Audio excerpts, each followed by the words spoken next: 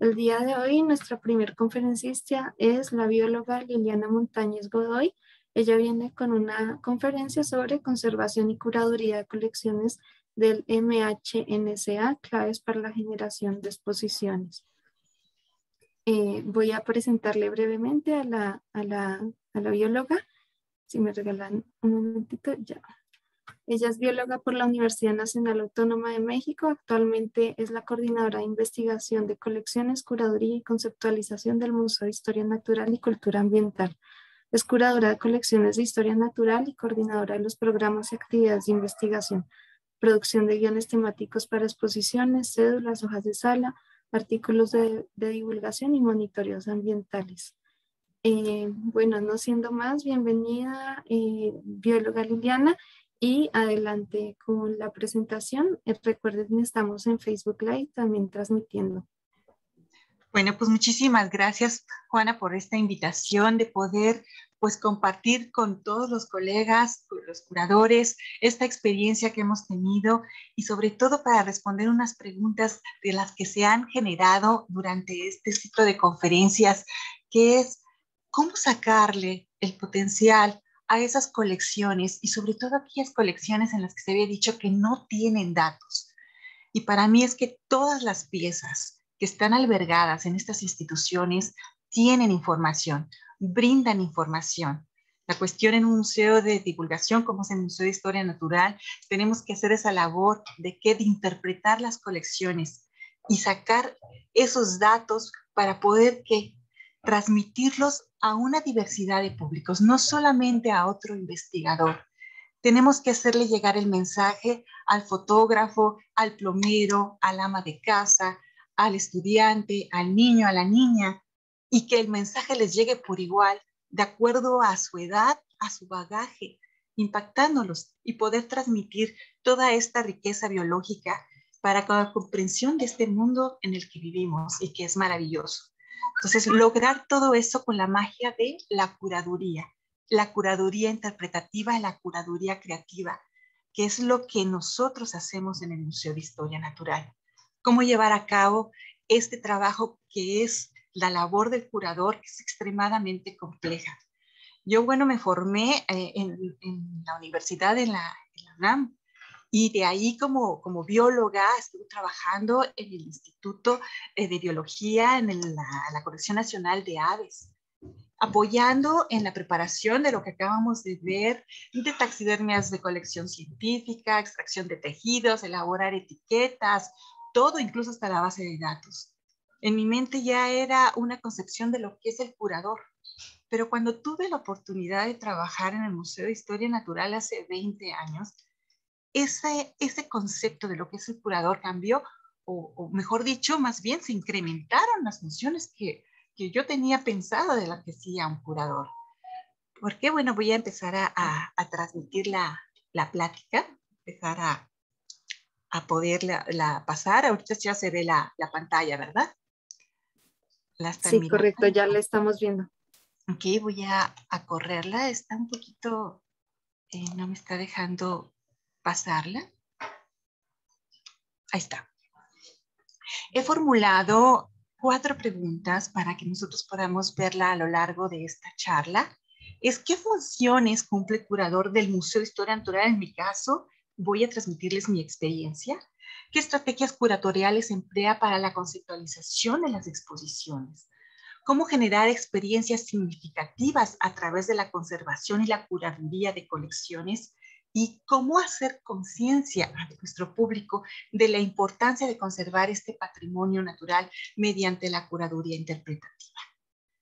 Y bueno, como yo les platicaba, al llegar al Museo de Historia Natural, no solamente estoy viendo una colección. Tal vez estuvo en otro año eh, antes o, en, en, el 15-16 no hay, de pronto antes. Entonces, el museo está conformado por más de 3.000 ejemplares de diferentes tipos de colecciones entre ellas tenemos colecciones geológicas, fósiles, minerales, paleontológicas. también tenemos organismos preservados en medio líquido, taxidermias, esqueletos y todos y cada uno de ellos pues es muy diferente a la colección científica porque están conformados por otros tipos de materiales. No solamente es el algodón, el acerrín que acabamos de mencionar. Algunos de ellos cuentan con bases integradas a las piezas que tienen resinas, espumas, madera. Todo ello se tiene que saber cómo preservar la pieza a largo plazo. Y también tenemos otro tipo de, de de colección que son las réplicas y modelos. Como aquí podemos ver a una réplica del lobo gris mexicano con sus cachorros que es divina y que, bueno, pues también requiere de otra forma de tipo de conservación, no solamente de material biológico. Y es así como lucen nuestras salas actualmente en el museo. Esta es la sala de evolución de los seres vivos. Aquí el Diplodocus, que es nuestra réplica del dinosaurio, que está, eso es una pieza emblemática de nuestro museo y también las piezas de, nuestra sala de diversidad biológica exhibidas en contenedores, en islas que sí les llamamos y en vitrinas. También tenemos otra sala que es la diversidad este, de, de México Megadiverso, donde las piezas se muestran a través de dioramas, que son estas recreaciones de ambientaciones naturales de nuestras diversas reservas de nuestro país. Entonces, es una maravilla, realmente eh, si tuvieran la oportunidad de visitarnos, estamos muy, muy contentos de, tener esta, esta pequeña colección, pero la manera en la que podemos transmitirlo es todo, todo un placer y un gozo, y un gozo para, para nuestros públicos cuando lo recorren las salas. Pero pues me voy a concentrar a, la, a la temática que es, qué es realmente lo que hace las funciones del curador y en este caso pues mis funciones pues buscando la bibliografía y de lo que hemos visto, pues está la triada famosa, que es conservar, resguardar y preservar el patrimonio, que es estudiar, investigar, catalogar y describir. La parte de la comunicación, que es divulgar y difundir el conocimiento a través de las exposiciones. Y esto fue un reto para mí, porque lo que acabamos de ver en una colección científica no solamente era preservar, es hacer y sacarle toda la, información que puede tener una colección, sino cómo hacerle, como estaba yo comentando, llegar esta información a nuestros públicos. Y no solamente estas funciones, también es la gestión de la obra, es el préstamo, son los intercambios, llevar a cabo las donaciones. Y fungir como comisario. Cuando se presta una pieza hay que ver que la pieza llegue desde el primer movimiento que se le va a hacer al ejemplar hasta dónde se va a exhibir y que regrese en las mismas condiciones. Y esto también tiene que ver con todo el trámite de aseguramiento. Y finalmente tener a cargo el personal encargado de la restauración y del registro de obra. Si bien el curador no es necesariamente el restaurador, y digo necesariamente porque cuando hay pocos recursos, el curador tiene que hacerlo también de restaurador, tenemos que saber de restauración. ¿Y eso dónde se aprende? El curador se hace, se nace, se forma. Yo me he formado a raíz de 20 años de trabajar aquí en el museo, de aplicar nuevas técnicas. ¿Y dónde voy a aprender a la restauración? Porque habíamos dicho aquí restauración, manos a la obra. En una colección científica es no meter la mano, pero en una colección de exhibición sí hay que hacerlo porque las piezas están más expuestas a estos vicios inherentes que habíamos hablado, de las plagas, de los cambios de temperatura, están interactuando con otro tipo de piezas, con otro tipo de materiales, están más expuestas al tacto de nuestros públicos, al vandalismo. Y cuando tenemos piezas históricas como estas que estamos viendo del antiguo Museo de Historia Natural del Chopo de más de 100 años, pues esos años han llegado a acumularse en polvo, en mugre, en pérdida de partes y la restauración es inminente. Eso lo aprendimos con qué? Gracias a personal de la Escuela Nacional de Conservación del ENCRIM, donde nos enseñó que no a restaurar, sino qué materiales podíamos aplicar sin dañar a los ejemplares. La parte más importante es esta, porque a futuro nosotros podemos hacer restauración, pero no sabemos cómo van a interactuar los materiales que les pongamos. Esos materiales tienen que ser removibles en el tiempo y no tienen que afectar a la pieza. Tiene que ser lo menos dañino, los menos ácidos que acabamos de ver. Y es aquí un ejemplo de cómo revivir piezas muertas y hacer que éstas vuelvan a tener una, una, utilidad.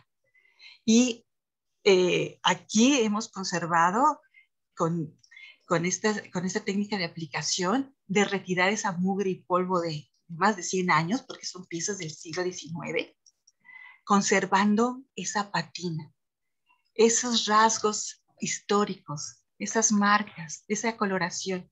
E incluso en este halcón, pues recobrándole la, la vista, eso que lo hace ser un vivo, con ojos de cristal, poder hacer esta, este logro y esta magia implicó muchísimo trabajo. Es una restauración que lleva mucho tiempo. Y no solamente es eso, es peor cuando alguien interviene una pieza. Esa es la diferencia entre restaurar e intervenir una pieza. El que hace una intervención, no una restauración, va a afectar a la pieza y el restaurador tiene que quitar lo que le aplicó, en este caso de esta tortuga, que pues la pintaron con pintura vinílica, le hicieron hasta unas escamas, tuvimos que remover todo eso y es así como luce, ponerle el ojo de cristal, quitarle el ojo de papel maché que le pusieron. Y esta es la magia de la restauración y de la conservación. Y bueno, pues también estuvo expuesto este ejemplar al vandalismo. ¿Cómo crear carey? Ese es otro reto, no va a estar en ningún manual.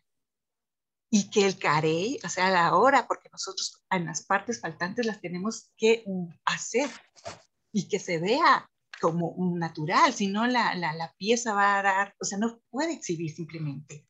Y ese lo creamos con eh, papel fotográfico. La fotografía tiene que dar el mismo tono del caparazón de este, de este ejemplar y lo encapsulamos y lo aplicamos con cera, con cera de restauración que, es, que puede ser removible. Y aquí lo van a ver en, en, esta diapositiva, cómo se logra hacer carey y así lucía la pieza. Una pieza que ya prácticamente estaba de baja, que ya no puede ser exhibida, vuelve a tener esa vida útil. Y bueno, no solamente hacemos la restauración, también aprovechamos eh, pues otro conocimiento que tenemos los biólogos como hobby. El biólogo Pablo Flores, que trabaja con, en mi área, a él le encanta todo lo que es el modelismo de, de aviones a escala pequeña. Pues bueno, aprovechando esta habilidad para crear también modelos y nos basamos con la experiencia del curador para que nos guíe en la realización de estos modelos que van a complementar la información que pueden brindarnos las colecciones, como en este caso de la reproducción ovovivípara en este tiburón, este, en esta especie de tiburón.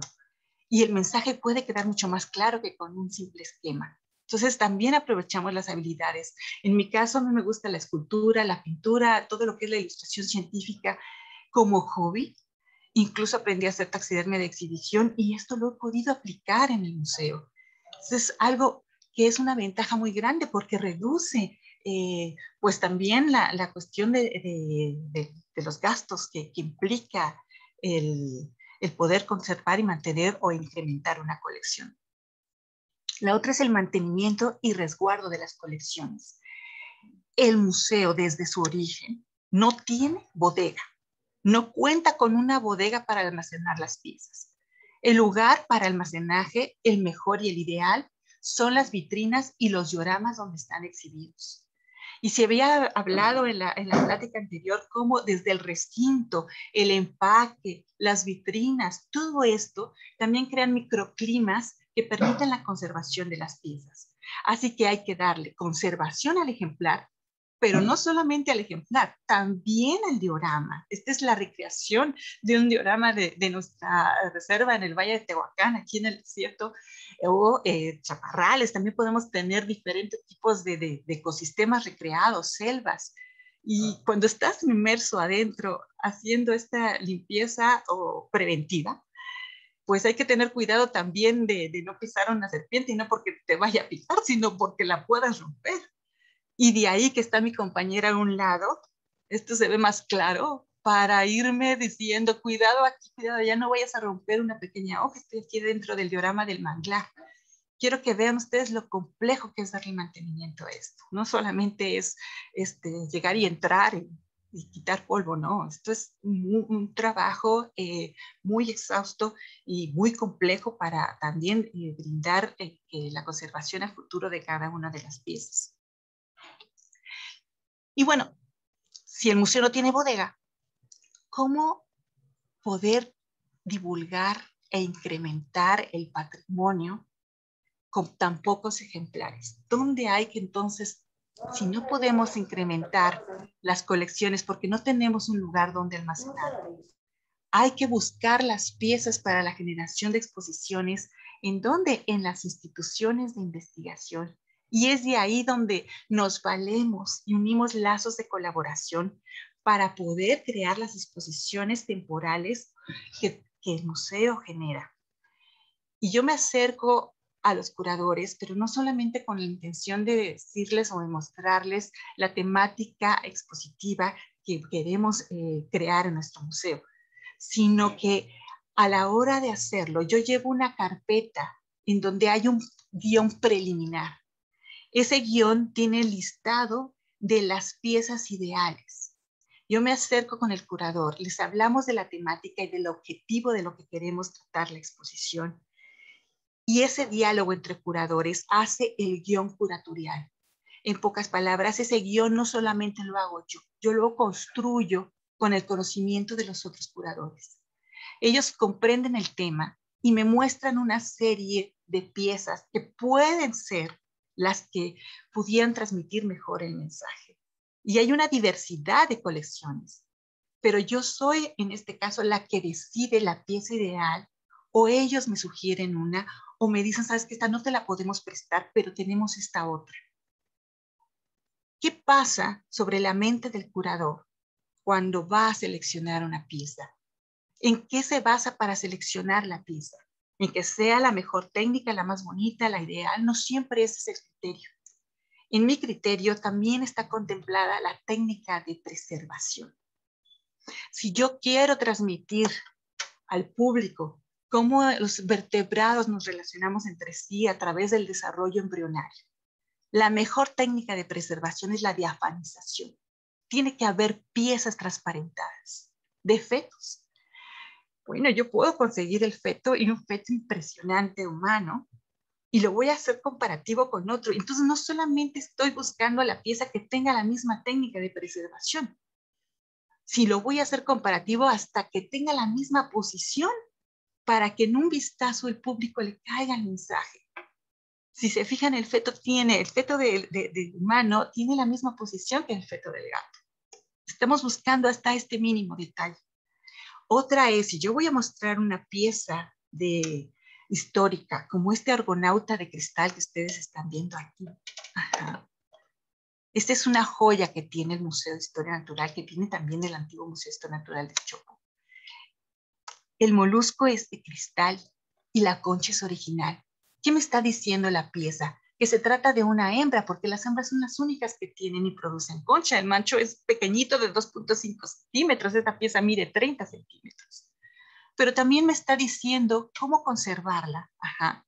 No puede darle la luz en gran cantidad, tiene que ser una luz muy puntual. Y la otra es que esta pieza no se presta. Y no se presta pues que es extremadamente frágil. Y aquí es otro criterio de cuándo prestar un ejemplar y cuándo no, que es la fragilidad de la misma pieza otra forma de, cuando está uno concibiendo la exposición es cómo la voy a exhibir y cómo la voy a conservar durante el tiempo que está exhibida. Cuando hicimos una exposición que se llama Maravillas eh, Marinas, que tiene que ver con la exploración marina, pues la escafandra no podía faltar. ¿Dónde voy a buscar una escafandra? Pues me acerco a la Secretaría de Marina. Y todo lo que es el equipo de exploración o el equipo que utilizamos, me gusta que que se vea el uso de, ese equipo. Cuando la Marina me prestó esta escafandra, eh, pues lucía y se veía como nueva. Y dije, no, pero es que yo quería que se viera usada. No es que es una pieza que está usada y que sigue en uso, pero es que se ve como nueva. Se ve como nueva porque ellos diariamente la limpian. Y nos dijeron, te la vamos a prestar, pero la condición del préstamo es que diariamente la limpien. Y hasta el paño nos dieron para hacerlo. Aquí, para exhibirla y que se viera más impresionante, solicitamos autorización para poderla iluminar por dentro y es por eso que se ve así, impacta.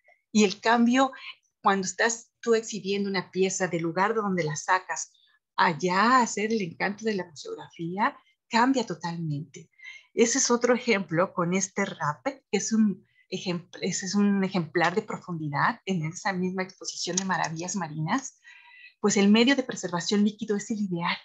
Preguntamos al curador si nos permite sacar al ejemplar de ese frasco o si podemos cambiarle incluso el medio líquido para que sea más transparente. Si nos dice, no, no puedes cambiarle el, líquido donde está preservado, pero sí puedes cambiarlo de frasco, pues bueno, entonces mantenemos esa, esa preservación, pero hacemos la magia de la exhibición para que la pieza luzca. Y es así como se ve, con esta simple sencillez de cambiar el frasco, de poner unas rocas hacia atrás y de hacerle una claraboya cambia totalmente y la posición del pez, pero se sigue conservando en su mismo medio de preservación, que en este caso es alcohol al 70. Y otro ejemplo de, del trabajo curatorial que se hace en una puesta en escena es la exposición de esqueletos con otro tipo de preservación. Esqueletos, vida en movimiento, así se llamó esta exposición vida en movimiento. Había que buscar esqueletos de animales que retan, que nadan, que vuelan, que excavan, todos los vertebrados. Conseguir más de 200 esqueletos en esta exposición es todo un reto, pero no solamente es eso, exhibimos esqueletos de canguros, de delfines, de leones marinos, de tigres, de caballos, de, pangolines, de kidnaps. ¿Dónde consigues toda esta diversidad? ¿Dónde están? Ese es un reto pero la otra es que cuando los encuentras no están así como se están exhibiendo. Están partes faltantes, algunos están rotos, todo es un trabajo de restauración también o de preparación. Y es una exposición que lleva pues más de un año, desde concebirla hasta ya tener el montaje. Otra es la parte de la curaduría interpretativa. Tuvimos la última exposición que se llama Borare, comer o ser comido, donde está la relación presa-depredador, pero también cómo las especies se asocian entre sí para encontrar el alimento en lugares donde es extremadamente difícil, como en la tundra. Y queríamos mostrar cómo el cuervo se alía con el lobo. El lobo no puede oler la carne congelada, entonces el cuervo lo guía hasta donde encuentra al animal muerto. El lobo eh, abre, abre al animal a la piel dura congelada para que el cuervo se pueda alimentar. Y si voy a hablar de, la alimentación, pues tengo que buscar pues el animal muerto y exhibirlo de manera de que no se eche a perder esa carne. ¿Dónde la voy a encontrar? Pues qué técnica me puede mostrar esto, la plastinación. Cuando, ¿dónde la voy a, dónde voy a buscar esta pieza plastinada? Pues en la facultad de veterinaria, buscar un perrito plastinado. Y aquí la selección no fue la mejor preparación, sino la peor. Y cuando lo vi, dije, esta es ideal. Y me dijeron los curadores, no, no, no, le vamos a prestar este perrito porque hasta aquí ya tiene los nombres de los órganos. Entonces ya cuando le dices, no, es que yo la quiero, ¿por qué? Porque va a ser la carroña. Ah, entonces les cae el, el, el, o sea, dicen, wow, no, pues sí. Un ejemplar que tú hubieras dicho, la técnica nos quedó horrible o la pieza quedó horrible, tiene una función, una función pedagógica y nosotros creamos esta magia. Y no solo nos limitamos a eso, también incluso a, crear la, la, ambientación, a crear la nieve. Y es así como luce la taxidermia, buscar la taxidermia con la posición ideal y la pieza sorpresa. Otro, ejemplares que no tienen datos. Exposición de eh, eh, este, animales insólitos. En esa sección tuvimos al más alto, más más rápido, el más fuerte y el más veloz, el halcón peregrino. Necesito un halcón que esté montado en vuelo en picada. ¿Dónde lo voy a encontrar? Museo de las Aves no tiene. Las instituciones de investigación, las colecciones científicas no me lo permiten. Pues hacemos uso y mano de qué? De aquellas pieles de animales que han encontrado en las carreteras muertos y que no han sido todavía curados, preparados. Y yo, gracias a que, bueno, me gusta la, la taxidermia, no solo me limité a la taxidermia de colección científica, sino la de exhibición, pues monté a esta pieza. Muchas de las colecciones también nos llegan por decomisos y es ahí donde aprovechamos el potencial que puede tener el ejemplar sin datos. Ese ejemplar encontrado en la carretera, pues ahora tiene otra función. Y esta experiencia ahora lo compartimos con el apoyo interinstitucional nosotros también hemos brindado a otras instancias que tienen sus colecciones, pues bueno, que, con algún daño que ya no las han podido exhibir, como en el caso de Universum, que nos pidieron restaurar este oso pardo porque se les cayó, perdieron las garras. pues bueno, recreamos las garras, aprendimos a hacer garras con resina, manteniendo el detalle de la punta de la, de la garra, que se vea el tamaño de la garra.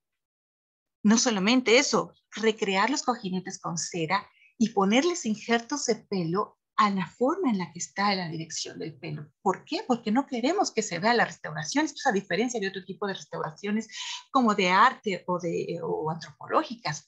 Aquí la idea es que no lo perciba el público porque tiene otra intención y esa intención se las voy a mostrar ahora en la parte de la conceptualización de exposiciones.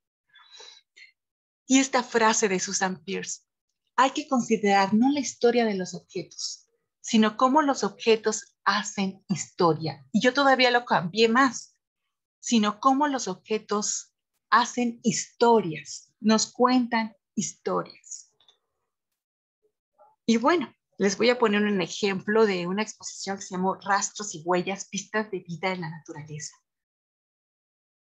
Y ese es el mejor ejemplo porque está inspirada en el manual de rastreo del doctor Marcelo Aranda Sánchez, pero no quisimos limitarnos a una exposición de únicamente hablar de huellas. Mostrar y exhibir sangre, baba, eh, pues telarañas, orinas, excreta, todo vestigio de vida, madrigueras, huevos, nidos, mudas, que dejan los seres vivos de su presencia. ¿Cómo hacer que todo este tipo de colecciones sean atractivas a nuestros públicos? Pues con la curaduría creativa. Antes de que el visitante entrara a la exposición, nosotros ya le habíamos puesto una enorme vitrina con todas estas piezas. no decía, no tenían nada, ninguna sed, simplemente se acercaban. ¿Y pues qué es eso? La curaduría creativa es articular un discurso en el espacio. Es hacer que las piezas que pareciera que no tienen ninguna relación, pues justamente formen un diálogo coherente, un diálogo que nos pueda transmitir este mensaje. Si yo voy a hablar del rastreo, de esta técnica, pues es una técnica que se ha sido concebida desde un inicio por el ser humano como una técnica de sobrevivencia. Voy a mostrar a los cazadores recolectores, que son los creadores de esta técnica, y cómo esta se ha transformado en una técnica de conservación para estudiar las especies con la mínima perturbación y el potencial que tiene para recrear incluso paleoambientes. Todo esto transmitido en cuatro temas, en cuatro áreas temáticas, y que a nuestro público le quede este mensaje. Bueno, pues iniciamos con esta, esta es la entrada. Son piezas culturales aquí para que vean que no solamente el curador aprende a preservar colecciones de historia natural, sino también de arte, porque le llegamos a nuestros públicos por todo tipo de medios y de cultura. Aquí estamos mostrando a la cultura Cucapay, a, cazadores recolectores. Pedimos autorización de poder, ellos son de Baja California, son grupos amerindios. Y esta es una trampa de ave. Estamos utilizando el techo, ahora sí que de piso a techo, todas las posibilidades del espacio, de concebirlo demostrar aquí que se pueda ver las patitas de los ejemplares, pero también, o sea, si voy a poner una trampa para capturar aves de Baja California, del grupo de Baja California, le voy a poner una taxidermia de una calipepa californiana. Y pedir autorización de poder combinar estas dos piezas. Nos dijeron los del acervo de arte indígena, adelante, porque nosotros cuando nos regresa esa pieza la vamos a meter en cuarentena, entonces no hay ningún problema porque puedan poner estas dos piezas. La otra es la curaduría interpretativa. Ya que entró el público, ya podía ver ahora las cédulas y lo hicimos de la manera más esquemática posible para que el mensaje pudiera ser directo. Si yo pongo estas dos piezas que, que muestran depredación, esta es una concha depredada por un caracol, un caracol donde está dejando esta marca que es como si hubiera sido hecha por un mototool. Y pues bueno, es por la rádula del caracol, del molusco depredador, en este caso, que es este. Esas marcas con el esquema quedan clarísimas. Pero no solamente pusimos eso, pusimos un video de cómo está haciendo este caracol la perforación a este pobre vivar. Digo, pobre, porque pues ni modo, lo tuvo que, lo tuvo que alimentar de él. Y la otra, este es, una, este es un fósil que es fango fosilizado. Cuando el curador nos lo presenta, nos dice, esta pieza es una joya y se llama el beso de la muerte. Digo, el beso de la muerte, wow, eso lo quiero exhibir. Pero no se entiende por qué es el beso de la muerte. Porque los peces están alimentando en el fango y dejaron la impresión de sus bocas. Pero aún así no se entiende. Una manera de poderle hacer llegar al público con el menor texto y de una forma tan sencilla es con la iluminación, resaltando las boquitas de los peces con un acetato del pez más allegado a lo que pudiera ser. Y esto también se logra gracias a la práctica con los curadores. Cuando ellos nos lo dicen, pues la mente, mi mente está trabajando y cómo transmitirlo y con tan pocos recursos. El discurso puede ser escrito o puede ser no escrito y el no escrito lo construye el público con las piezas. Ese es el reto más grande. Un discurso curatorial propositivo y novedoso seduce al visitante y lo incita a querer saber más. Pero para incitar al visitante es que el visitante participe también en la exposición, se vuelva parte de la exposición. Y lo que nosotros hicimos en esta muestra es involucrarlo con retos. Le pusimos, por ejemplo, aquí está eh, los visitantes con una imagen donde tenían que encontrar animal oculto.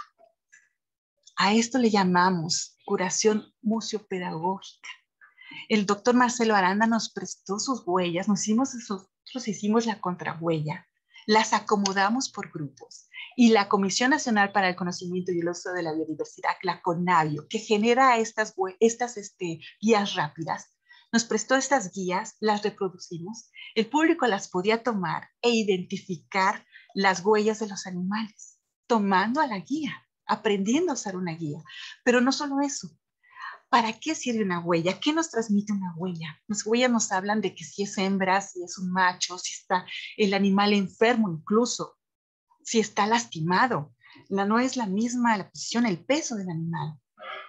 Todo eso lo que nos está transmitiendo, pues lo hacemos llegar a nuestro público y luego que lo aplique porque la técnica de, rastreo no solamente sirve para eso, sino saber las abundancias de las especies. Y no debemos de confundir la huella entre una especie y otra que tengan huellas similares. ¿Cómo diferenciarlas de esas especies que habitan en el mismo tipo de ecosistema? Como es el caso del oso pardo y del oso negro. Bueno, pues aquí está el oso pardo que restauramos del Museo de Universo aprovechando, bueno, la gente ahora la vista estaba a, las manos, a las patas. Pues no solamente es buscar a esta pieza que ya la, la tenemos, es la contrapieza al oso negro en la misma posición y luego poner una cédula que, que con simplemente verla podamos entender y comprenderla. Ajá, el mensaje que nosotros tenemos. Entonces, el mensaje debe ser comprendido si eh, hay una intención de, recorrido guiado o no. Tiene que ser muy claro con la mínima información. Y bueno, pues también tenemos la curaduría interpretativa. La curaduría interpretativa y interactiva. Si estamos hablando del rastreo, las piezas de la naturaleza, cuando uno va al campo, no ves a los ejemplares. Y nosotros creamos este otro reto. Pusimos diferentes tipos de ecosistemas y entonces el público entraba y se envolvía con esta. Esta es una parte, esta es la mitad que estamos recreando. Pues está la contraparte con otros cuatro ecosistemas más. Y ahí pusimos este reto. Pone en práctica lo aprendido, resuelve los acertijos e identifica de quién es la huella en cada uno de los ecosistemas. Lo que había aprendido el público anteriormente, ahora lo va a aplicar con un reto. Y esta es otra forma de hacer conservación de la pieza. Pusimos un ejemplar taxidermizado adentro de cada uno de estos espacios y bueno, pues arriba está el acertijo. Este es un ejemplo. Entre la vegetación me muevo con sigilo en busca de roedores, conejos y zorrillos dejando por el suelo la marca de cuatro cojinetes y dedos puntiagudos. ¿Quién de los tres soy? Nosotros en la mampara pusimos tres, ajá, tres, eran ventanitas. El público podía abrir estas ventanas donde está mostrando tres ejemplares que pueden vivir en el mismo ecosistema, al puma, al tigrillo y al jaguar. Con base a este, eh, a, este acertijo, si el público le atinaba, ajá, bueno, perdón, la palabra no es atinar, si el público resolvía el acertijo, entonces podía levantar la, la, puertecita y descubrir al animal oculto. Y esta es la sorpresa, es la magia. La pieza se está conservando también, entonces esta es interactividad sin tocar las piezas. Está adentro del diorama, que es así lo, podemos interpretar adentro de, esta, de este mampara, y el público podía interactuar. Otra forma que es lo que les había eh, planteado en la, pregunta, ¿cómo generar experiencias significativas con la conservación y la curaduría de, colecciones? Pues con el factor sorpresa, con piezas icónicas, con piezas que todo el mundo cuando las vea se quisiera tomar la, la foto. Bueno, pues las piezas icónicas no siempre son las protagonistas. Nosotros en esta exposición pusimos esta imagen ajá, en gran formato y de aquí salían unas huellas en Froglaffy que llevaban a uno de los ejemplares más espectaculares que tiene el museo. Imagínense una especie con la cual ustedes quisieran fotografiarse, que viva en, en la nieve y que tenga una cola larga que la utilice como bufanda para taparse la nariz, pues el leopardo de las nieves. La ventaja de esta pieza que está en salto es que podíamos verle los cojinetes, pero la el leopardo no es la pieza protagonista. Las huellas marcadas en el piso tampoco lo son, no es el rastro más importante para poder, eh, eh, que utiliza el, investigador, poder este, rastrear a, este, a esta especie. Los felinos que hacen, marcan territorio con qué? Con la orina. Si se basaran únicamente en la huella, la huella se va con una tormenta. Si el leopardo de las nieves brincó, esa, ese rastro ya se perdió.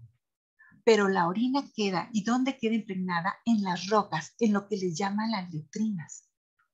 Esas letrinas, esas rocas, son las protagonistas y había que hacerlas. Entonces, nosotros también construimos esta, esta puesta en escena. ¿Para qué? Para generar a nuestros públicos esa experiencia significativa. Y es aquí como luce. Y la manera de conservar este ejemplar fue la misma posición en la que está taxidermizado. La altura es la barrera para no poderlo tocar. Entonces, este es otro ejemplo de cómo crear experiencias memorables y cómo a la vez aprovechar pues, la forma de preservación de una pieza. Otro es la interpretación de los acervos el curador hace esta práctica, pero que el público también lo haga. El valor de una exposición radica en su aporte al conocimiento y al entretenimiento. ¿A través de qué? Del razonamiento y del juego. Esto va a complementar esa experiencia y ese conocimiento, el mensaje transmitido a todo tipo de público, como yo les dije. ¿Cómo lo vamos a lograr a través del juego? Con este interactivo. Nosotros, y en la culminación del rastreo, pues la parte más máxima es la recrear todo un ambiente con diferentes tipos de pistas. Pusimos una serie de, de colecciones. Esto que ven aquí es oleaje fosilizado. Este es resina. Este es un gastrolito, la huella de un dinosaurio herbívoro, pisadas de cangrejo y la huella de un dinosaurio carnívoro. ¿Qué nos está diciendo todo estos, todos estos eh, rastros en un conjunto, en un lugar? Pues están recreando un paleoambiente, un suceso que ocurrió hace más de 154 millones de años y el público lo está armando con este rompecabezas. Entonces tenía que el público colocar todas las partes de estas piezas armando la pista. ¿Para qué? Pues para descubrir qué había sucedido.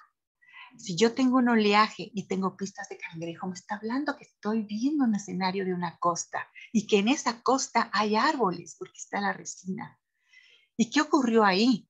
Si yo tengo un gastrolito y la huella de un herbívoro, pues es que hay un herbívoro y el herbívoro está muerto al encontrar el gastrolito. Y bueno, la huella del depredador, aquí está la evidencia del asesino. Y es así como ellos van construyendo este paleoambiente y dejando esta experiencia.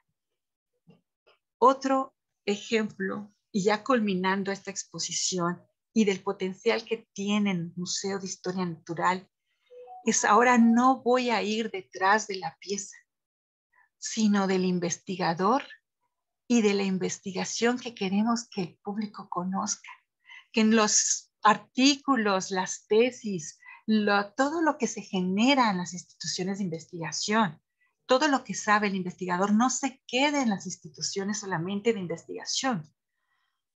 Yo aprendí que en un museo de historia natural, la conservación de las piezas, ¿sí? Uno prepara una colección científica y la aíslas de todo el daño que pueda tener la luz, la intemperie, la metes en un cajón. En el museo preparamos la pieza, la preservamos, pero no la guardamos la exhibimos, la sacamos. En el caso de, de, de buscar lo que yo les decía, ahora al investigador, al curador, a toda esta experiencia, es con la finalidad de que saquemos esta, toda esta investigación a la luz de nuestro público, pero aquí tampoco a veces es posible sacar la pieza, como en el caso de, de, piezas arqueológicas. Ni siquiera el investigador se lo puede llevar. Y este es un ejemplo de, pues, de contactar a Ricardo Servir Pichardo. Él es un biólogo joven, muy entusiasta, pero también es el primero en realizar el registro de ignitas, que son huellas de Sonora. Y con base a su investigación, con todo su conocimiento, pues nosotros quisimos darlo y plasmarlo en el museo. Él nos proporcionó la calca de esas huellas y nosotros las creamos en este espacio. Y con base a sus fotografías y a todo, todo lo que implicó eh, el estudio, pues lo mostramos aquí. ¿Y que estamos generando con ello? Que el curador y la relación con el investigador hacer que la pieza resulte interesante con la información precisa otorgada por el investigador, pero también con la magia de qué, de la expografía. Y con ello, ¿qué hacemos? ¿Qué generamos? Pues inspirar vocaciones. Esa es otra forma de, conservar el patrimonio. No solamente de que el público salga con querer saber más, sino que incluso hasta que salga con, con una idea a lo que se quiera dedicar a futuro una manera de, poder hacer hasta ciencia ciudadana, de conservar, de voltear a ver a ver su entorno, de querer conocer. Nosotros en el museo no solamente culminamos esta exposición como, como una puesta en escena, se articula aquí todas las áreas del museo, el área de servicios educativos, la parte de la divulgación, el personal incluso de limpieza, los guardias.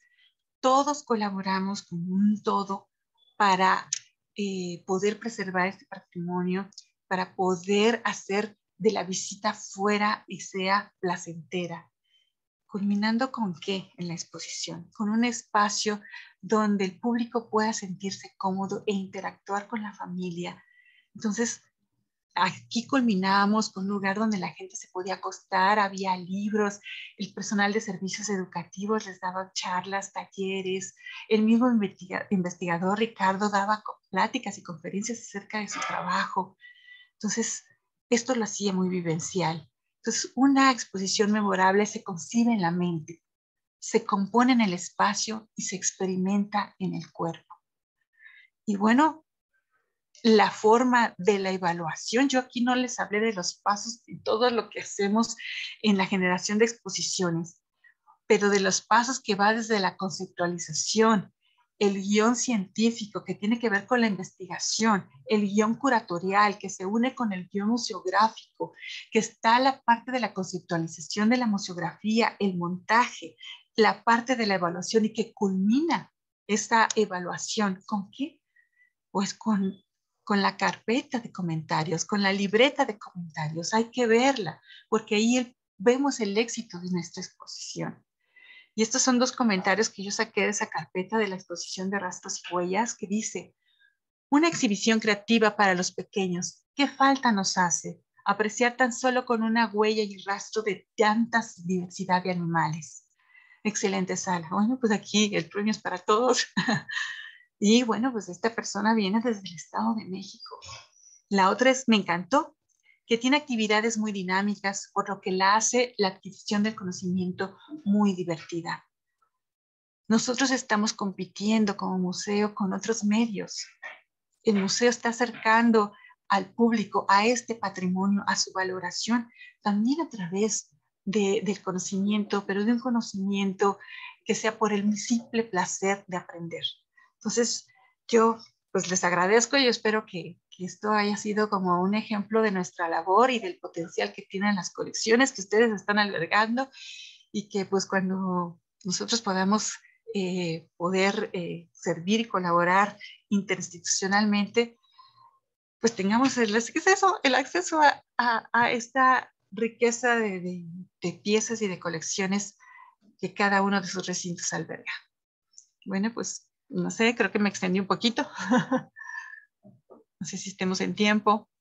Sí, muchas gracias, doctora Liliana, muy amable, pues su, su exposición realmente quedamos eh, sorprendidos también gratamente pues de todo el avance que han hecho a nivel expositivo es realmente un trabajo muy profesional, muy, muy interesante, ¿no? Muchas interacciones. Hay algunas preguntas igualmente, los que deseen hacer preguntas también.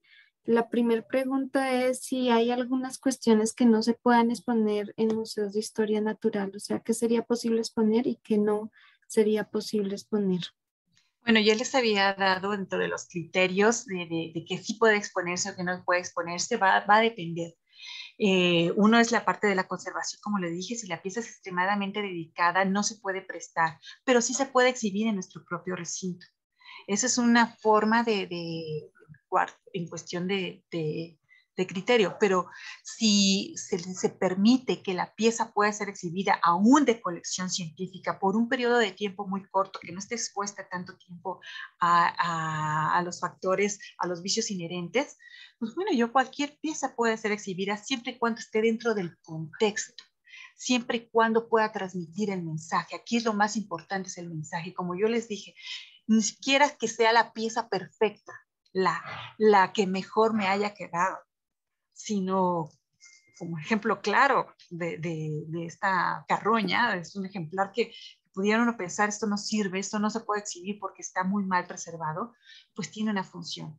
Entonces, las posibilidades son infinitas y todo va a depender de qué sí se puede exhibir y de qué no se puede exhibir dentro del contexto. Esa decisión la toma el curador a la hora de transmitir el mensaje. Ya, desde Facebook nos preguntan, eh, un momentito. Bueno, ¿cuál fue la pieza que significó el mayor reto para su montaje? Pues la de Leopardo de las Nieves, porque esta parte de crear las rocas, nosotros lo hicimos. Es, eh, a mí me encanta la, la, escultura, me encanta, pero esto lo hacemos en equipo, ¿no? Es estar concibiendo cómo hacerlo atractivo y la implicación que lleva en un corto tiempo, porque estamos trabajando bajo presión. Imagínense, no solamente es la parte de la curaduría, de traer, de hacer las gestiones del aseguramiento, del préstamo, de la restauración, también de la creación de los ambientes. Estamos haciendo museografía, estamos apoyando a la parte de la expografía. Y eso es una actividad que no hace el curador, pero sin embargo, la falta de, de, a veces de, personal o la experiencia que cada uno de nosotros tengamos y, la, y el tiempo nos, que nos acota, pues es todo un reto. Ya lo tienes que tener bien visualizado, qué es lo que quieres hacer para que el tiempo se reduzca, se maximicen los recursos. Entonces, cada pieza es un reto. Desde la concepción, desde la forma en cómo lo voy a preservar, hasta la creación y la instalación. Esa es una de, de las que puedo yo, yo, yo compartir. Ya, la siguiente de Ana Laura, el Museo de Historia Natural tiene sus propias colecciones y qué hacen con el material cuando terminan exposiciones temporales. Sí, nosotros tenemos eh, alrededor de 3.000 ejemplares exhibidos en nuestras salas, tenemos nuestras propias colecciones. Y una vez que las piezas han sido exhibidas, pues regresa nuevamente a, los lugares donde las estamos albergando. Eh, hay momentos en los que yo las tengo que sacar de los dioramas, que les dije que eran nuestras áreas de, de almacenaje, si la pieza ha tenido en el mismo lugar del recinto, eh, simplemente se verifica, se pasa por una exhaustiva chequeo de que pues no vaya a tener alguna plaga o que haya sido contaminada por alguna otra pieza, se pasan por las cuestiones de la cuarentena, pero lo otro es que siempre nosotros fumigamos nuestro material. Nosotros utilizamos eh, diferentes tipos de fumigantes, fumigantes que, es, eh, que, son eh, utilizados también para fumigar granos, ¿Por qué? Porque pues, tenemos a nuestros públicos. Son fumigantes ya sea empleados en gas o en líquido y ya después se integran a, los lugares donde estaban exhibidos. Pero para no estarlos extrayendo, es por eso que hacemos nuestro, nuestros recursos, son estas instituciones de investigación, nos acercamos a ellos. ¿Para qué? Para que el público también conozca otro tipo de piezas y, y que pues puedan conocer ese patrimonio que está albergado en estas estancias.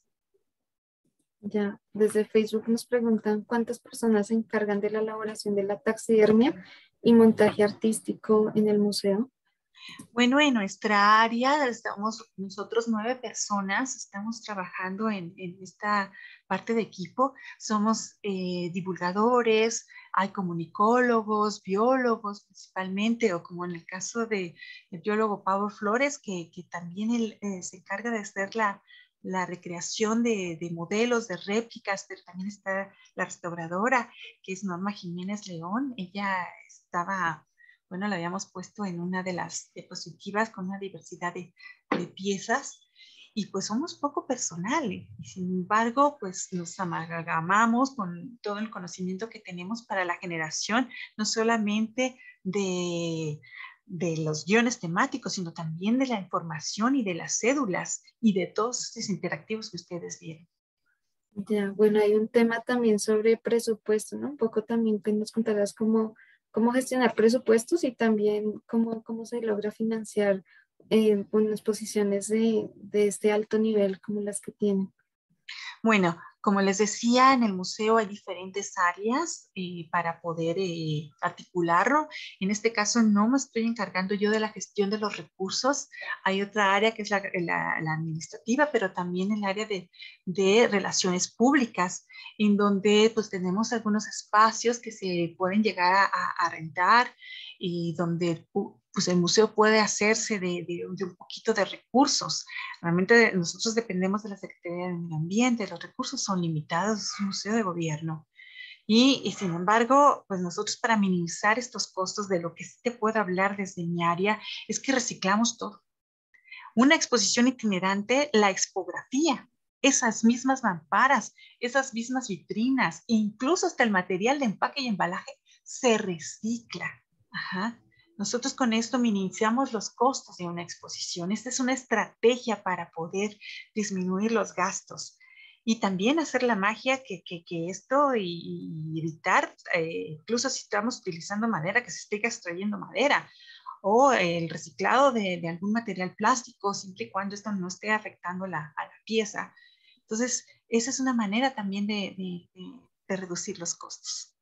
Bueno, muchas gracias, bióloga Liliana. Y una última pregunta fue, bueno, durante la pandemia, ¿cómo, cómo les generó alguna afectación? ¿Cómo, ¿Cómo se vivió la pandemia? ¿Y cómo generaron activaciones en, el público, tal vez a nivel virtual, con exposiciones? ¿Cómo, cómo se logró esta activación? Pues sí, bueno, la, pandemia fue todo un reto al, al, museo de que, pues bueno, cerramos nuestras puertas físicamente, pero las abrimos de manera virtual hacia nuestros públicos y hacia nuevos públicos. También esto es una oportunidad. La pandemia es eso, otra oportunidad de, de, aprovechar la tecnología y de hacerle llegar no solamente a los públicos cercanos o de nuestro país, sino a, a otros a otros este, niveles y continentes, a otros países, que conozcan nuestro museo a través de imágenes pues impresionantes. Utilizamos imágenes 3D, hicimos también juegos, subimos y participamos con charlas, con conferencias. Entonces yo creo que eso ha sido algo positivo de la pandemia. Y esas gracias también al área de difusión y al área de diseño, que ellos han tenido un papel exhaustivo de, de, poder comunicar esta información y de nosotros adaptarnos como área de investigación y colecciones a crear ahora material virtual eh, crear juegos que el público incluso pudiera bajar desde su casa y conocer las piezas eh, a través de esta, de, de, esta magia de, la tecnología.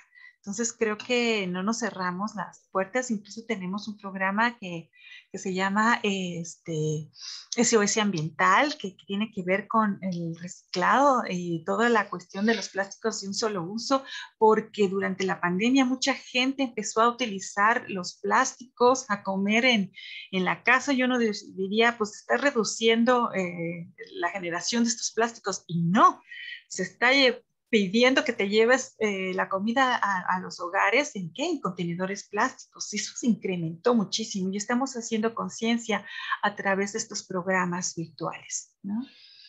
Ya, bueno, ya la, la, última pregunta de Hildita Naveda, eh, si tienen piezas, bueno, si las piezas que se exhiben tienen etiquetas, especialmente aquellas que vienen de, de atropellamientos, ¿no?